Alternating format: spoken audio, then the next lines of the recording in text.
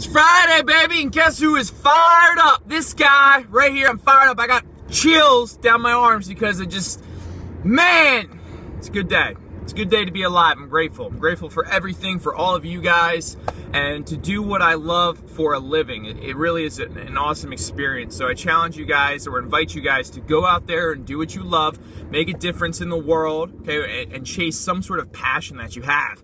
Now, uh, on my Instagram, I posted a picture, and even on my Facebook, my wall, you can see that there's a lion guarding a little person. If it's a boy or a girl, I'm not really sure, um, but it's it's pretty much saying, "Don't fear anything." Okay, I'm here to protect you. So, what I wanted to spread the message of is that the people who are there for you when the times get tough, right? Or or even when they're, they're at the ultimate highs, right? But there's going to be some ultimate lows. Okay, the people who have your back through adversity, through when you totally effed up, when you messed up, you did something that's not good, right? And we've all been there because there's no more black and white anymore. And I used to be a very black and white person. And I used to think, oh, if you do this, you, you just, I can't associate with you. If you do that, that's that's bad. But guess what? There's this this whole grayscale of of experiences. Okay, that's all they are, experiences. And those people that stay with you through that are the most amazing people in the world. Okay, so if you have people who are like that, you need to hold them as close as possible. And you need to make sure that you're grateful for those people. Because if they weren't there for you, something something bad could have happened. All right, you could have lost your mind if it wasn't for those people. So be grateful. I call those the lions. All right, and they're in your lion pack.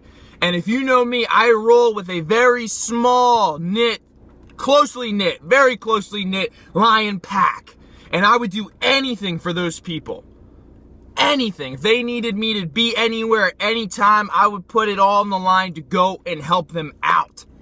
And it's the mo- it's the coolest thing. It's the most amazing feeling when you have people like that who watch your back. And that's as true as it is as your friends, as as your workout partners, as the people you work with, your employees. If you want to run a business, you need to create a lion pack within the business. Okay? When we go to the gym and we train, we don't work out, we train, people stare at us. Okay? And it's not because we're a-holes. Maybe people think we are. It's because we are a pack. We have a pack, a savage mentality to go in there and get the results. We hold each other accountable for greatness.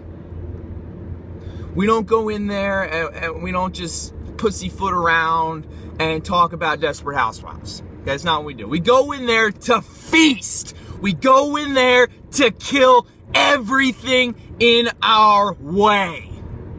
So you need to find those people. You need to find your pack because your environment is the most important thing in shaping who you want to become. Lions do not hang out with the gazelle. That does not happen. The day that happens, we know that there is a problem in the ecosystem. Let me tell you that. You have to go out and you have to feast. You have to go take what's yours. You have to go and just be a lion in the world full of sheep. And guess what? Grab a couple buddies, couple friends, or attach yourself to those lions and just go out there and get after it. Have a wonderful, kick ass, beautiful Friday. Be grateful for this experience that we call life okay? Because there's a lot of people out there who have it way worse than you right now. I don't care how bad you think you have it, you can talk to somebody who has it way worse than you. So just be grateful, all right? Thanks, guys, for listening. Have an awesome day.